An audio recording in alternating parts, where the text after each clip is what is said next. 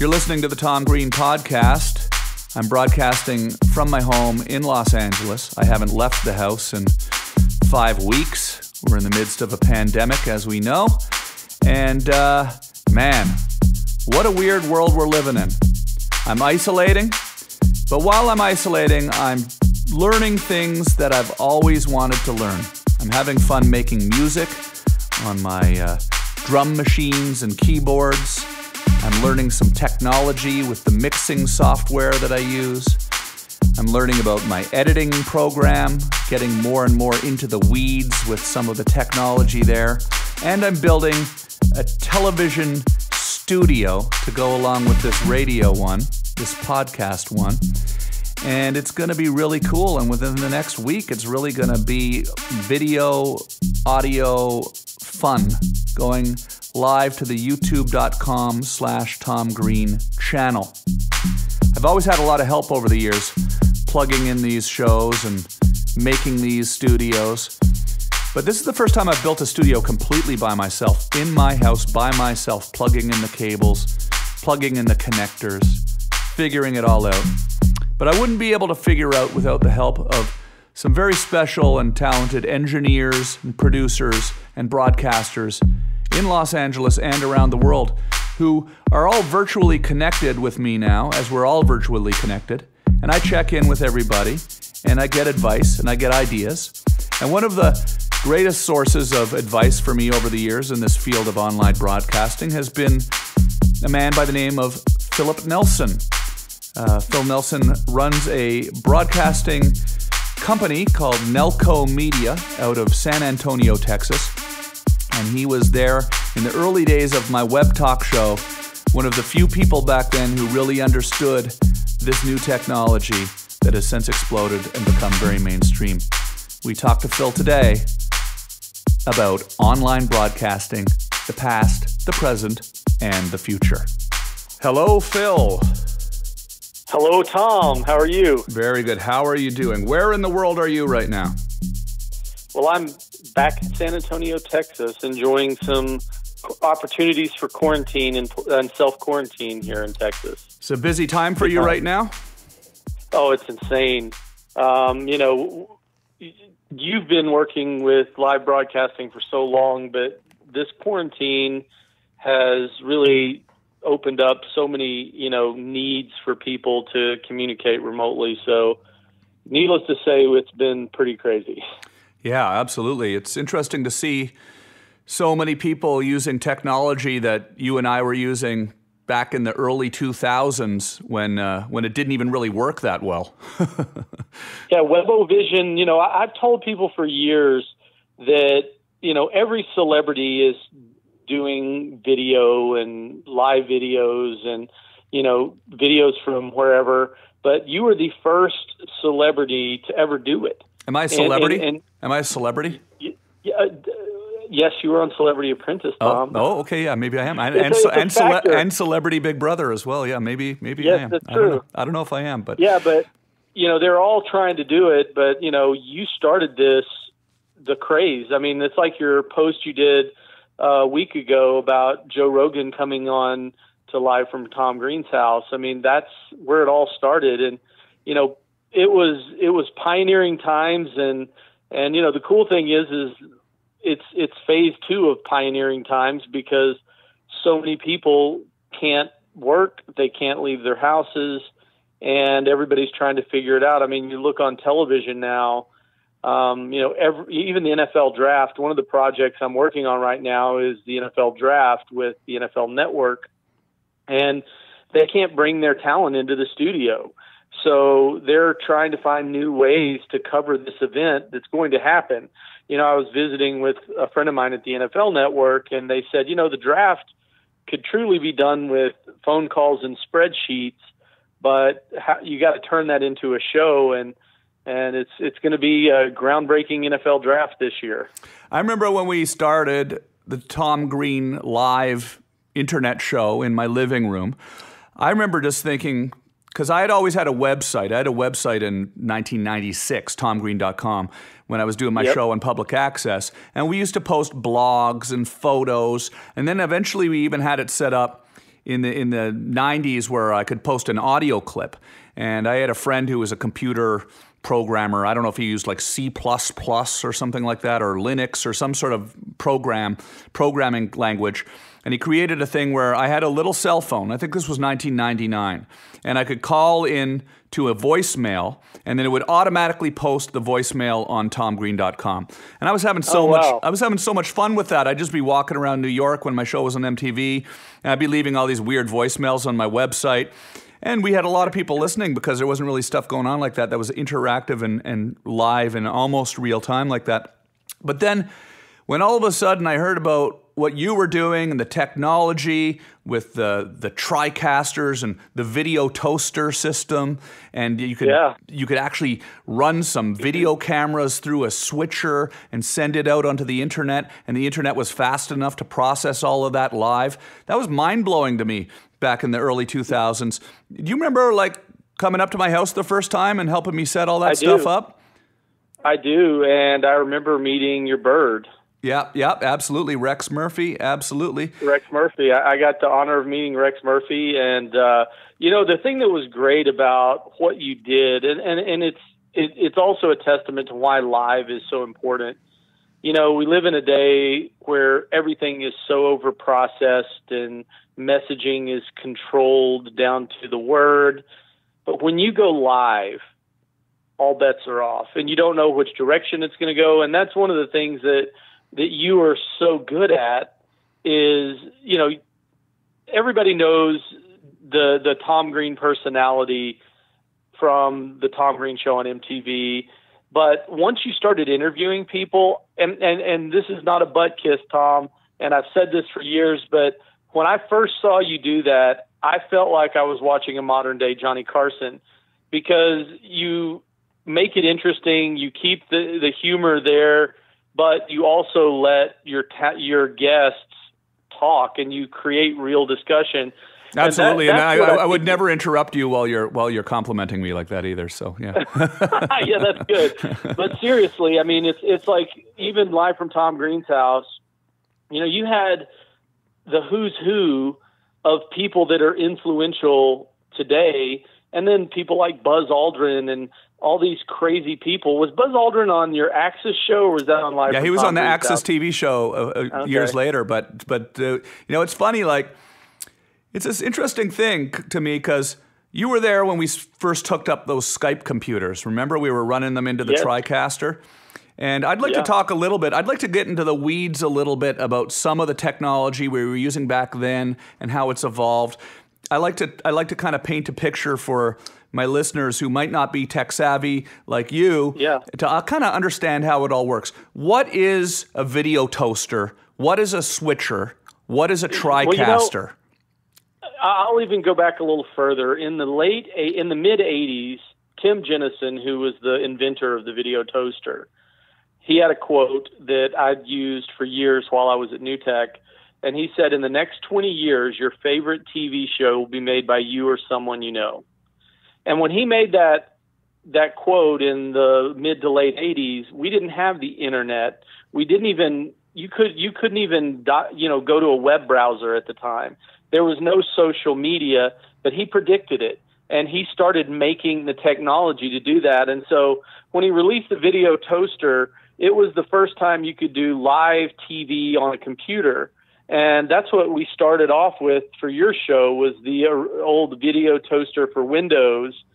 And then, you know, years later, you know, when the TriCaster came out in 2005, you know, you moved to that platform. But basically, the technology allows a video switcher allows you to plug in multiple cameras and switch between them. I mean, it's truth in advertising when you say video switcher Yeah. but when you're trying to tell a story, it's kind of like live editing.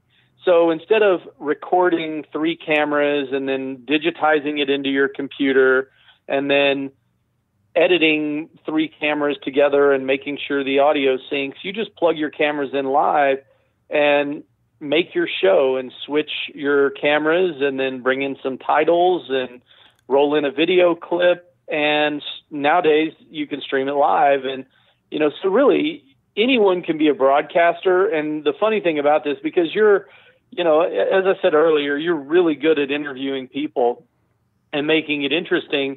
And I kind of equate it to, you know, writing. You know, just because you have a word processor doesn't mean you're a writer. Just because you have a video switcher doesn't mean you're a live producer, you know?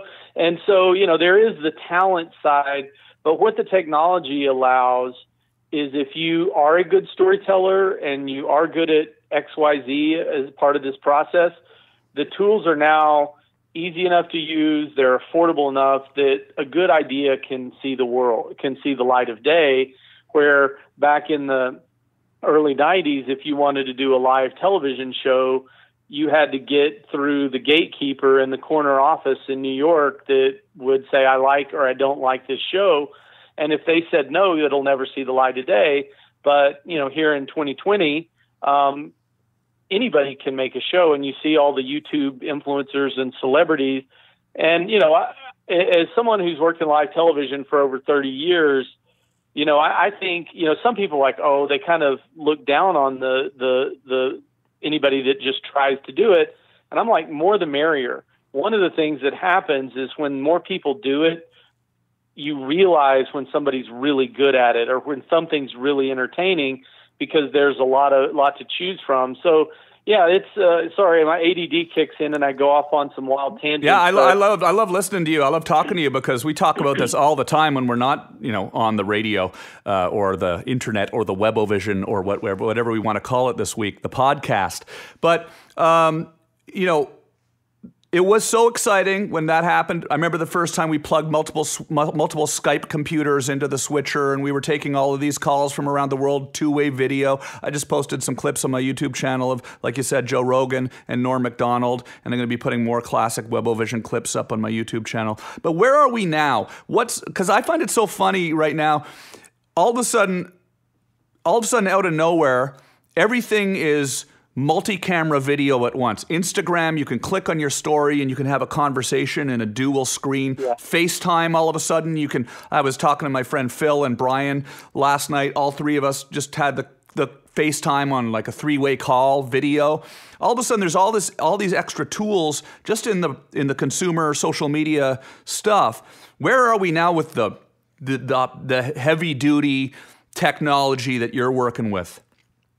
Well, it's what you're doing. I mean, you are at the leading edge because, you know, with with Webovision or with what you're doing now with the podcast and where it's going next, you you are you're you're doing you're at that bleeding cutting edge because the key for video to me is it needs to look like TV. You know, especially if you're a pro and you have you want to get sponsors. I'm not talking about you particularly because you already have you have an audience and all that. But if somebody's trying to create a, a show, let's say, it needs to look like TV because my 11 year old daughter and my 96 year old grandmother are all TV experts. We know what TV looks like. And so when you communicate through video, if it doesn't look like TV, and doesn't have the same level of production value, then your credibility of the message is, is eroded. And and you know during this pandemic, um, you know the quarantines nationwide, all you know every major city, and people are locked down in their homes for going on a month. It seems, or maybe more now. It all seems to run together. But what's really been interesting is the demand for government video. You know, in, in living in San Antonio, most people didn't really care what the mayor had to say on a daily basis because it didn't they in their mind it didn't affect their daily life.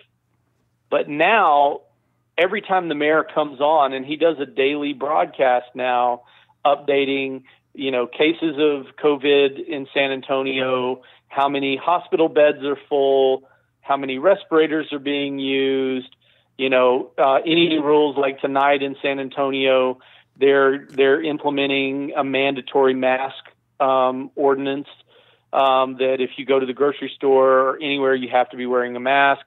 But all of these municipalities now are there. They they their video people have been saying we need this capability, we need this capability. But now the politicians themselves are like, we need this yesterday. When you have city managers telling their video team, how do we do this? We need it tomorrow.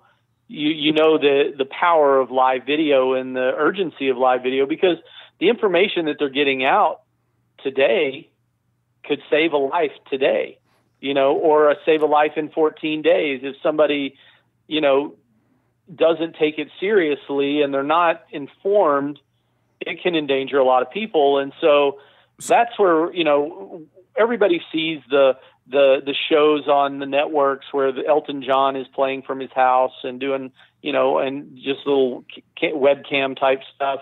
But the real important stuff is what's coming from the, the, the local leaders, the governors, you know, the the the uh, congressmen, senators, the president. People need to hear this information, um, and and so that quality is being increased because once again, credibility is very important. And if it looks like they're sitting on a, if if the mayor comes to you live sitting on a, you know, a wicker chair in his backyard with trash all over the place, yeah, yeah. his credibility shot. Yeah. So it needs to look like TV. That's why I'm so excited right now about plugging in all of these new gadgets and uh, and uh, cables and microphones and lights and putting the studio together because, uh, like you said, uh, we're doing the podcast right now here. I'm doing the podcast right now here alone in my house. Yeah. Uh, just audio only. I'm getting the video dialed in with your help. I really appreciate all the help you've continued to give me over the years.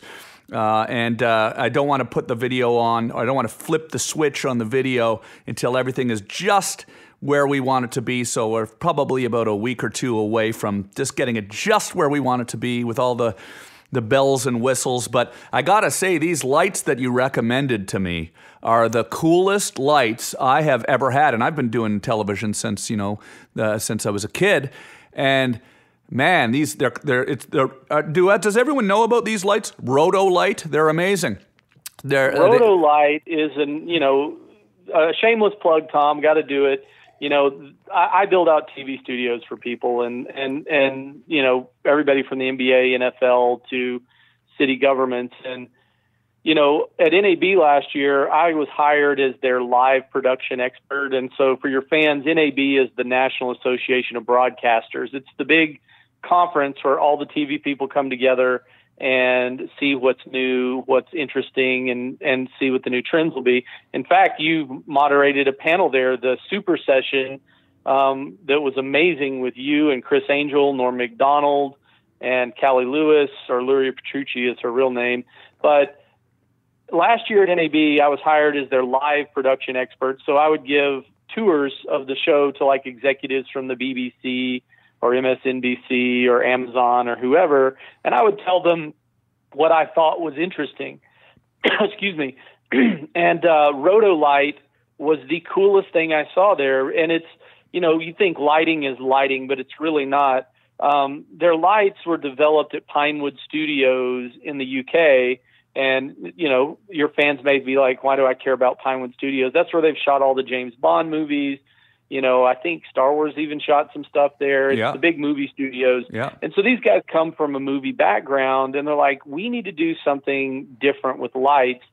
And so most of their lights are round with a little badge in the middle that says Rotolight. But because of that badge, it casts the light in a new way that makes it softer. But then they also added in a lot of special effects. And I can't wait to see what you do with some of these special effects Yeah. because you're the only guy I know that could make eating corn funny. and so um, That's a if- throwback. yeah. it, dude, I mean, your first virtual set. Do you remember that when Yeah. you got in front of the TriCaster virtual set and was like, "Let's eat some corn"? Yeah. I was like, "How can I'm sitting here dying laughing, Yeah. and Tom's standing here in front of a world map eating corn." Yeah, I like I don't eating know how corn. you can. I like corn is delicious. I like I like delicious corn, uh, especially in front of a cool world map. Yeah. Well, yeah, it's so much fun. The lights are so much fun. These special effects are really fun. I'm going to start uh, definitely doing some some some wacko stuff with that for sure once once we get the cameras up and running. But man, it, it, it's just really cool. It's it's it's exciting because the other thing that's exciting is everything works now, right? Like it, it's sort of like Yes. felt like when we first did it, it, it worked, but then sometimes it wouldn't work, whether the internet wasn't fast enough or the, the, the phone line, the internet line would go down or whatever. But now it's just everything is dialed in and it's working and it's it's happening now. And the lighting here looks incredible. And uh, you're you're advising me on some potential camera options that I should be looking at to Yeah. make the visuals look incredible. But outside of what I'm doing here, because I'm kind of a a freak example, you know, here in my house, here in my house, putting this all together by myself, and and and and you know, I, I, I guess I kind of know what I'm doing. But what about somebody that doesn't know what they're doing uh, and doesn't really know how to start, but they wanted to kind of do a little show?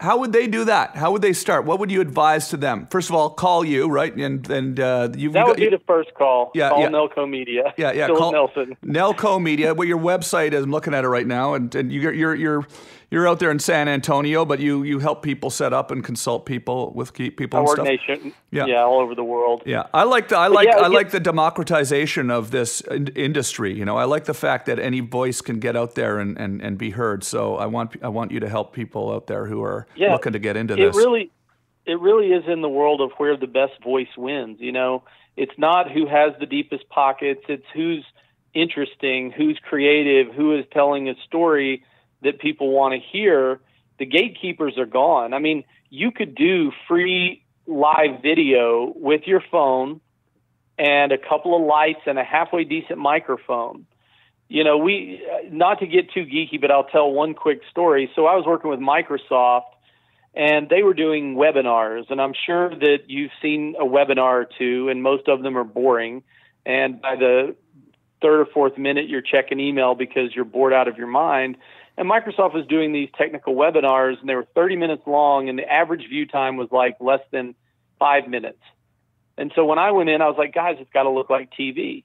Let's get good lights. Let's get good microphones. Let's get good cameras, and let's add the sizzle of TV. And we did that, and they saw their engagement go from two to five minutes to 36 minutes on a 30 minute webcast. And that extra six minutes was actually people asking questions at the end. So, you know, and that's a real, you know, dry example, but when things look like TV and they have the production value with good lights, good sound, and good cameras, um, you know, you don't detract from your message. And if you're creative and interesting and have something good to say, then people are going to watch it. So say you're just like a regular kid. Let's say you're a 20 year old kid and you want to do a goofy talk show and you want it to look look good and you want to do a little more than just your phone. How would you get started? Is there a simple switcher you could get Yeah. that, that's not going to break the bank? There's a free one that you can download called OBS. It's Open Broadcaster and it's free. Yeah. and you can put it on a laptop and it's a little bit of a headache to set up but it's free. And if you're a kid wanting to do a show guess what? You got some spare time. You're in quarantine. Figure it out. Yeah. but uh um but you can switch your cameras. You can add in some graphics and you can do it from any laptop. Um, it really is amazing. And and then what happens is is a lot of people that want to create a show after they kind of test the waters and they have a, they know they have a good story or they know have they have an audience, then they can go out and get sponsors and actually start buying some higher end equipment. And but the, there's no reason not to start today if somebody has a fun idea or an interesting or important idea because the technology is is almost free now. Um, odds are you can scrounge up a camcorder. Um, you know, there's even ways to use your cell phone um, NewTek, who makes the TriCaster and partnered with Panasonic on the switcher that you're using, actually has an app that you can download for your iPhone, and it's basically an NDI camera. NDI stands for Network Device Interface. It's basically an IP. It turns your phone into an IP video camera Yeah. that could be fed into a live switcher, which could go into OBS or TriCaster or whatever um, switcher supports NDI. But the technology is is free or almost free to get started, and and there's no reason that your fans can't, you know, start doing something interesting today. I and love they've it. got some time on their hands because hopefully they're being responsible humans and staying at home. Yeah, I love the interaction. You know, we used to have people, and we'll again soon, very soon, have people calling up on just Skype. But I, I can imagine a day where all the callers are calling up from multi-camera studios of their own, and they're cutting around on their end, and we're cutting on our end, and it's just so many cameras. Phil, I love cameras. you need more. Well, you know, another area that's really a hot area right now is esports. Yeah. And we do, we've done a lot of esports. We worked with Twitch when they were starting their studio and I've worked with a lot of esports tournaments and things. But that's what this OBS software is what a lot of those gamers use. And they'll take their computer screen, feed it in, then throw a camera on their face, and then they'll just stream their games. And there are kids making hundreds of thousands of dollars a month streaming video games and building an audience. But you know, it's it's to me, it's about you have a good story, you're interesting, the tools are there for everybody to try it now and just play around with it. So I did have a question. So on your your new show that that you mentioned earlier, are you are you actually thinking about letting fans call in or only invited guests? Oh no, yeah, we'll have we'll, that far? we'll we'll we'll have the, the the the viewers calling in. We'll have guests calling in.